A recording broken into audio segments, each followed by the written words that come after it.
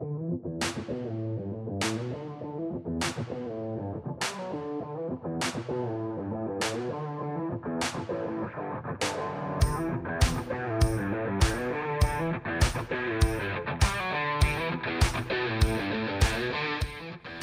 name is John Chartier. I'm designer of the Anthem Viper.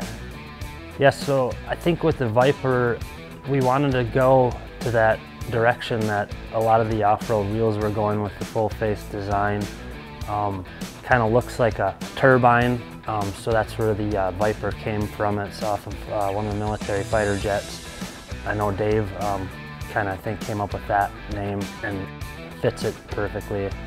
And uh, yeah, I mean, there's not much to say. It's it's a bold it's a bold design somewhere that we've never went with Anthem, and I think I think it turned out the way we wanted it to. And I think for for this wheel, it's one of my favorite wheels that I've designed because I got to get a little bit more bold with the design and get away from like you know the multi-spoke wheel.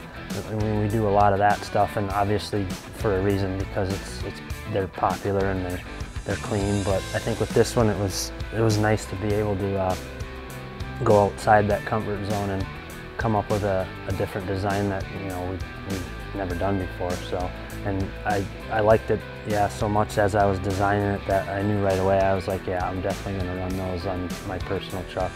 I think it just fits that off-road you know simple, not too extreme. Um, it goes with a lot of a lot of builds. I think the Jeep, the Jeep guys will really like it as well. For this one, we'll be doing the 17s, 18s, 20s, um, available in gloss black and satin black.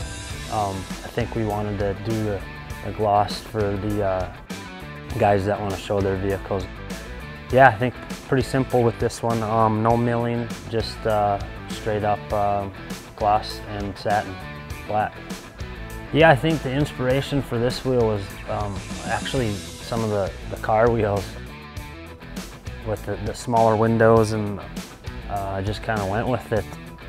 You know, it, it, it kind of took shape right away. I changed, uh, took some of the heaviness out of the wheel um, as I went.